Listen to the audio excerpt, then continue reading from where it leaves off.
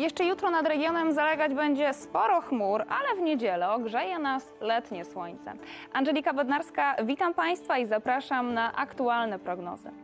Dzisiejszej nocy na pogodę w kraju wpłynie rozległy ośrodek niżowy, którego centrum z Finlandii stopniowo zacznie przemieszczać się nad północno-zachodnią Rosję. Towarzyszący mu front atmosferyczny w całej Polsce przyniesie dużą porcję chmur, opady deszczu, a w okolicach Rzeszowa również lokalne burze.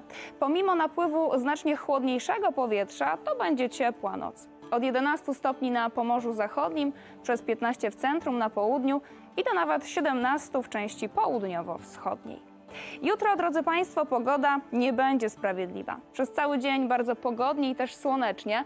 Będzie głównie w regionach zachodnich oraz północnych. Natomiast w Polsce centralnej, południowej oraz wschodniej niebo zdominują frontowe chmury i pojawią się opady zarówno deszczu, jak i mrzawki. Tutaj będzie też najchłodniej. Od 16 do maksymalnie 19 stopni.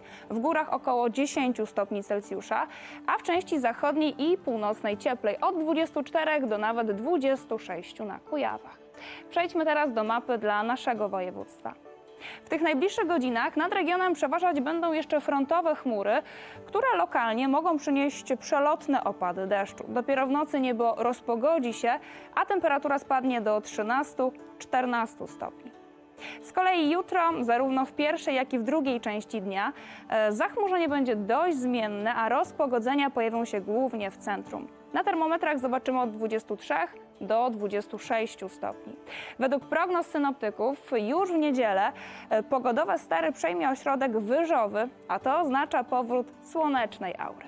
Dziękuję za wspólny czas i życzę Państwu spokojnego weekendu. Do zobaczenia.